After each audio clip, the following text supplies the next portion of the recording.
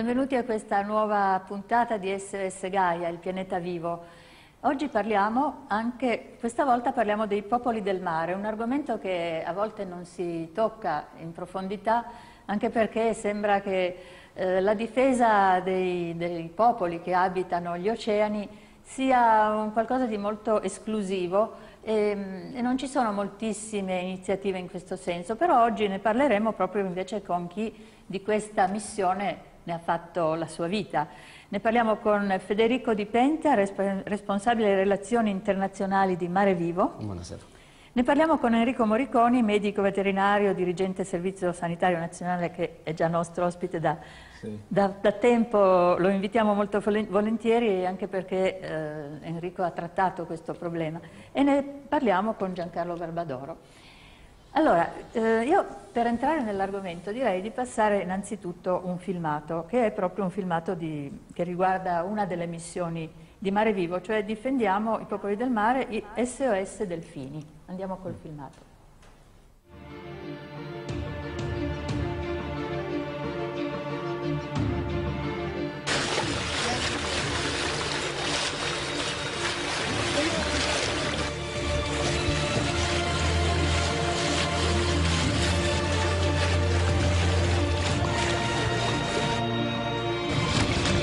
Questa è casa loro, lasciate in pace i delfini del golfo di Taranto.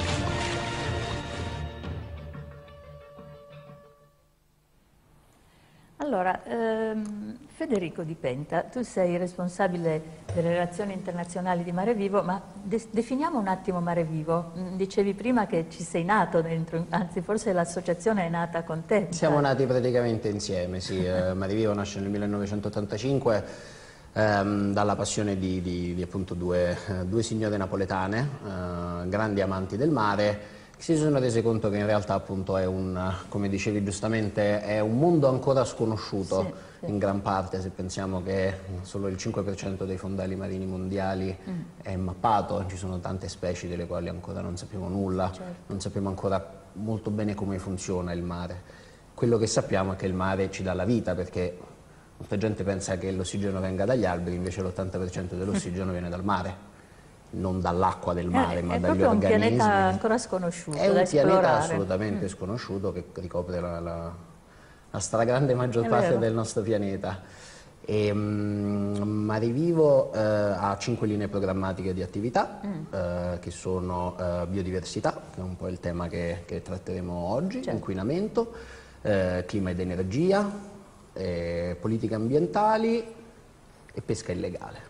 Ecco, voi diverse, avete diverse missioni. Abbiamo accennato, abbiamo visto anche la missione di, eh, dei delfini, no? salviamo i delfini. Avete fatto un'azione Stop agli Air Gun, se vuoi descrivercela un attimo. Certo, è un tema un po' trasversale in, in realtà l'SOS Delfini. Mm. mm. Come voi sapete, le, le, sapete bene le conseguenze del referendum di maggio che ha di nuovo da, insomma, sì. dove abbiamo ri riaperto il discorso concessioni, eh, queste sono le prime manifestazioni del, dei risultati del certo, referendum, certo, quindi certo. La, uh, delle, delle, non cito i nomi, ma delle aziende petrolifere diciamo, mm. hanno richiesto un permesso per perforare a largo Purtroppo della costa della Puglia. il referendum è andato male. E la regione Puglia si è opposta queste aziende petrolifere hanno fatto ricorso al TAR, eh, il quale gli ha adesso dato il permesso di iniziare le esplorazioni. Mm. Ovviamente è stata selezionata per le esplorazioni una zona di riproduzione dei cetacei, quindi eh, oltre al rischio ambientale, eccetera, certo. tutto quanto, eh, comune a tutte le, le, le trivellazioni, esplorazioni, eccetera, qui abbiamo un problema che questi ergan eh, insomma, impatteranno proprio direttamente eh, delfini Terribile. e svariati altri cetacei che vivono lì. Ci sono delle ripercussioni ormai provate scientificamente eh, sull'utilizzo, sugli effetti degli erganda, una riduzione dei pesci, eh, perdita di udito, morte, eccetera, per tutti. Voi combattete anche i delfinari, no?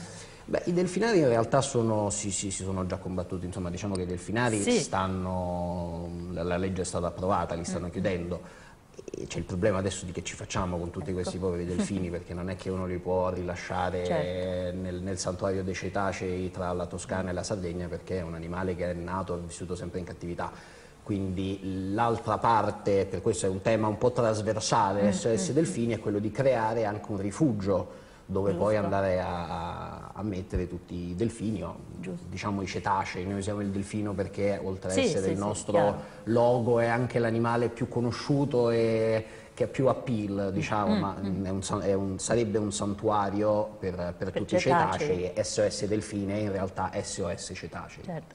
Enrico, eh, Enrico Morriconi, tu sei fatto, no, parlavo con Enrico Morriconi che eh, si batte da sempre per gli animali, gli animali sono esseri senzienti, non ti sembra Enrico che a volte gli animali acquatici sono quelli un po' più trascurati anche, che so, eh, la pesca non ha l'impatto della caccia a livello di protesta, no? Eh, ma il motivo è eh, qualche studioso ha detto perché noi gli animali, eh. i pesci, non, si, non, sentiamo i lamenti dei pesci eh, e eh. quindi noi li trascuriamo per quello. Io ho diciamo, preparato un libro, adesso non so quando sarà pubblicato, sulla sofferenza delle cosiddette specie minori, mm. per cui la, la, classe dei pesci. E ormai ci sono molti studi, non italiani e non di veterinari, ma di biologi e zoologi, che dimostrano come eh, i pesci eh, hanno, anche gli uccelli hanno un'intelligenza assolutamente paragonabile ai mammiferi e eh, soprattutto eh, sono in grado di, eh, di, soffrire, di provare certo. dolore come i mammiferi. Ehm, tra gli altri argomenti, eh, tu ricordavi la pesca, sovente i pesci pescati agonizzano 15 minuti, questa è una cosa che pochi eh, pensano, eppure è una sofferenza e siccome i pesci sono in questo momento la più grande fonte proteica, noi mangiamo, noi, non, chi sì. non è vegetariano mangia, mm, nel mondo si mangia 165 milioni di tonnellate di pesce contro le 280 milioni di tonnellate di carne, ma di tutta certo. la carne, polli, eccetera. Perché molti evitano la carne, ma pensano che il pesce sì. sia lecito mangiarlo, faccia certo. bene, eccetera. Certo. Negli ultimi 40 anni è quadruplicato il consumo di, di, pesce e quindi è una sofferenza immane, certo. oltretutto i pesci non, non, sono, mentre sono nei bovini, nei suini, eh, si conosce il numero anche dei polli, si conosce il numero mm. degli animali allevati, i pesci, poveretti, eh, si contano solo a quantità, a, quantità di, di, pesce, di pescato, quindi proprio anche una sofferenza individuale che viene proprio non considerata certo. e non... Tra l'altro tu ti sei occupato anche di Aragoste, hai scritto delle cose, hai, fatto, eh, hai partecipato anche a, a, una sentenza che è stata sì, emessa no, recentemente. Non ho partecipato alla sentenza, però un mio lavoro sulle sofferenze delle aragoste è, stato, è, è, diciamo, entrato nel processo al, al ristoratore eh, toscano mm. che eh, teneva le aragoste sul ghiaccio, adesso è arrivata anche la sentenza della Cassazione eh, tenere le aragoste vive sul ghiaccio e eh, con le chele legate è eh, sofferenza degli animali e certo. quindi eh, si dovrà provvedere a, a, cambiare il sistema di, eh, di tenere questi animali. Cosa, cosa, che a Torino non era successa perché un giudice ha ritenuto che era un reato lieve e quindi a Torino invece non l'hanno condannato quello che Anche perché non c'era ancora la mia relazione. Ah, ecco. in quel caso. peccato, peccato.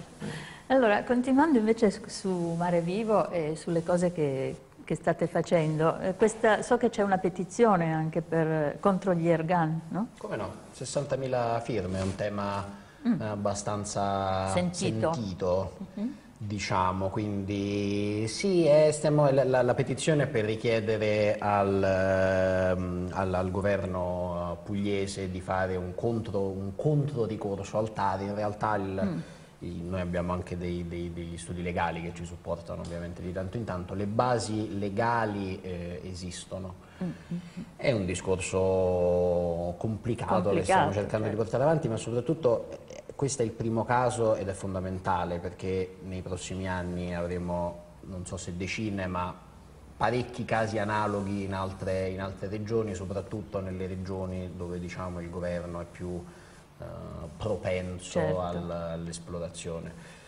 Quindi eh, il, primo, il, primo, esempio, il primo caso, bisogna fargli una guerra molto... Certo, molto diventa una battaglia poi, che diventerà cruciale e anche esemplare. Eh, sì, eh sì, anche per i, per i prossimi... Certo. Andiamo con la pubblicità. Torniamo a noi. Ehm, quando si parla di animalismo, in questo caso riferito ai popoli del mare, non si può non parlare anche della questione ambiente. Infatti eh, Mare Vivo sta facendo anche delle campagne proprio sull'inquinamento degli oceani e mh, vi mostriamo un filmato che eh, riguarda la campagna Mare Mostro. We are tied to the ocean and when we go back to the sea, whether it is to sail or to watch We are going back from whence we came.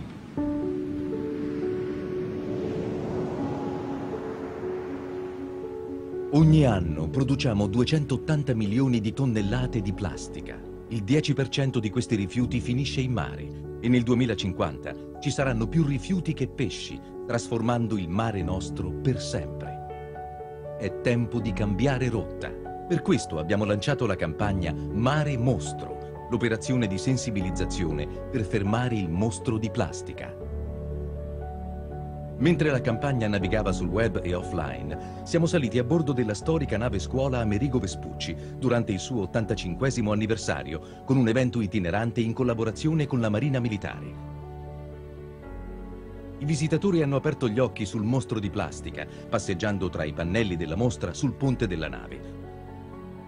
Intanto sul veliero e sulla terraferma una serie di convegni ha coinvolto personaggi pubblici e la società civile nel dibattito, generando una forte presa di coscienza. L'operazione ha coinvolto anche i più piccoli, con alcuni progetti di formazione per le scuole, come Delfini Guardiani, per diffondere la cultura della sostenibilità e il rispetto del mare. Il nostro viaggio è iniziato il 7 maggio 2016 da Bari, toccando diversi porti italiani, fino ad arrivare in Croazia e in Danimarca. Risultati, oltre 150.000 visitatori, oltre 2.000 bambini hanno partecipato alle attività di edutainment, più di 100 giornalisti e oltre 500 testate hanno parlato del mostro. Mare Vivo lancia la sua nuova campagna Mare Mostro contro l'inquinamento del mare a bordo della nave Sempre la vostra campagna si chiama Mare Mostro noi siamo già pronti a salpare verso nuove mete e non ci fermeremo finché non avremo fermato il mostro.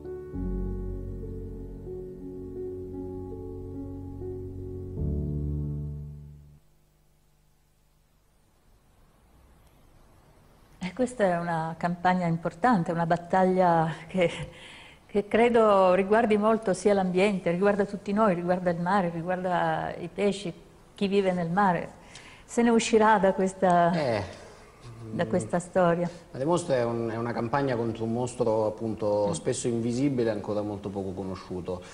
Fino agli anni, l'uso massivo della plastica c'è cioè, diciamo, dal dopoguerra, fin, fino agli anni Ottanta la plastica era un fastidio visivo, mm. non si considerava come inquinamento, era brutto vedere un sacchetto di plastica sulla spiaggia, a mare poi negli anni 90 abbiamo iniziato a vedere le prime foto con la tartaruga che sì. moriva perché mangiava la busta di plastica, oppure il, la, la, tartaruga con la, quelle famose con la, le lattine di birra. Sì, li, insomma. Sì, poi abbiamo iniziato a capire che ci sono delle isole di plastica enormi in mezzo al, agli oceani sapevo, delle quali non sapevamo nulla e da pochi anni sappiamo anche delle microplastiche. Mm. Quando noi quando finisce un fazzoletto di carta, se mettiamo un fazzoletto di carta a mollo e poi lo rialziamo, si sfalda in certo. tanti piccoli pezzettini. Questo succede anche alla plastica, ci richiede più tempo ovviamente. Mm. Quando la plastica raggiunge una dimensione sufficientemente piccola, la microplastica viene definita come qualsiasi un pezzo di plastica inferiore ai 5 mm, mm -hmm. mezzo centimetro, è di una dimensione sufficiente perché venga ingerita da un pesce è ingerita da un pesce, entra nella catena alimentare, pesce mangia pesce, mangia pesce e poi finisce di nuovo sulle, sulle nostre tavole. Tutta la plastica diventa microplastica a mm. mare, mm. dandogli tempo a sufficienza. Però ci sono anche delle eh, categorie che nascono come microplastiche per esempio le microbeads che vengono messe in molti prodotti cosmetici, mm. eh, per l'igiene personale, nel tessile, sono delle piccole sfere mh, mm, di polietilene, di PVC, PVA, mh, mm, ci sono 75 microplastiche uh -huh. diverse. Sono talmente piccole che non, a, non, vengono catturate dai nostri sistemi di scarico, finiscono direttamente a mare certo. dove il pesce le scambia già immediatamente eh, per plankton, ingerisce e quindi Chiaro. di nuovo entra nella catena alimentare. Le microplastiche esistono da 15 anni, 20 anni, prima non, non c'erano, ma ad oggi alcuni prodotti cosmetici, alcuni dentifrici sono composti il 90% Pazzesco. di plastica. Cioè noi ci laviamo i denti con la plastica.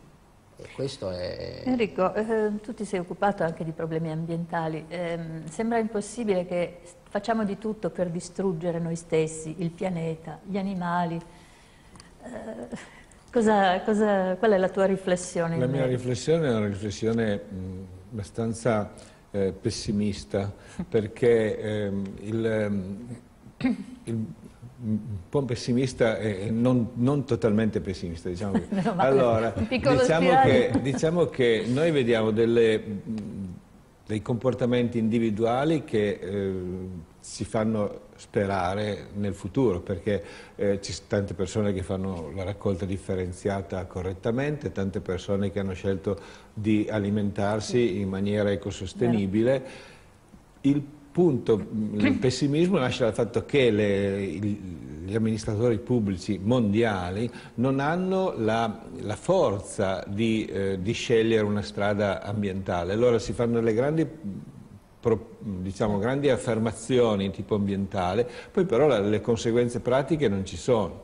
E eh, ad esempio anche presidenti eh, come Obama che mm. avevano una visione, diciamo, avevano una visione ambientalista, poi alla fin fine eh, il mondo è dominato dalle, dalle, certo. dalle, grandi multinazionali perché le cose che diceva eh, Federico, Federico il, il, sono chiaro eh, lo sviluppo industriale. Lo sviluppo industriale è dominato dalle multinazionali Noi, e, e su, questi, eh, su, queste eh, grandi strutture nessuno, la politica non riesce ancora a, avere, a cercare di, di, far ragionare. Oltretutto, si parlava prima fuori onda, gli allevamenti intensivi non sono solo per eh, gli animali di terra, ma anche gli animali d'acqua, perché ci sono gli allevamenti anche per i pesci. Sì, allora in questo momento quasi la metà del pesce che si mangia e che arriva sulle tavole è di allevamento e nel futuro si prevede che sarà tutto di allevamento. Come dicevamo prima, ma sono dati ufficiali, eh, l'allevamento, i pesci che vengono allevati vengono allevati con altro pesce, quindi per per far, per mm. far, crescere il pesce dell'allevamento si, si pesca e, e, si uccide altro pesce, eccetera, certo. e l'altro punto è tragicamente il fatto che tenere gli animali, eh, perché i pesci sono ancora più concentrati che non gli altri eh animali, sì. perché tanto c'è l'acqua che li sostiene, quindi eh, nelle vasche c'è una, una, concentrazione altissima e bisogna dare antibiotici. Dando antibiotici, l'antibiotico nel mare va direttamente nel, nel, nella catena alimentare. Chiaro. E quindi il fatto che poi l'antibiotico resistenza, che è in aumento in tutto il mondo, soprattutto nei paesi industrializzati, eh, quale, e certo nell'antibiotico resistenza eh, c'è anche l'uso sbagliato, eccessivo da parte degli uomini, ma c'è anche ehm, un'introduzione continua di antibiotici tramite i cibi di origine animale. Adesso si, ci si rivolge addirittura agli insetti. Pur di evitare di diventare vegani o vegetariani si arriva anche agli insetti. Sì, questa, eh, allora, se voi eh, periodicamente, due o tre volte all'anno, fanno articoli sui giornali mm. per, dicono, nei quali dicono che solo l'Europa e il Nord America non mangiano gli insetti, dato vero.